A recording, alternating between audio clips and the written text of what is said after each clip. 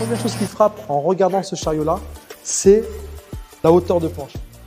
Oui, on a une hauteur de plancher qui est très près du sol.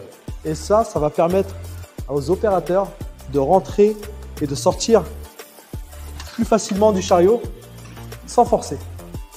Autre point, c'est la visibilité. Cette visibilité, va permettre à l'opérateur de travailler en sécurité puisque on a une vitre de toit panoramique qui a été retravaillée, on a un toit protège cariste qui a été retravaillé avec des montants plus fins pour avoir tout ce qui se passe autour de lui et aussi euh, plus confortablement puisqu'il aura moins d'efforts à se pencher à droite et à gauche afin de voir son environnement.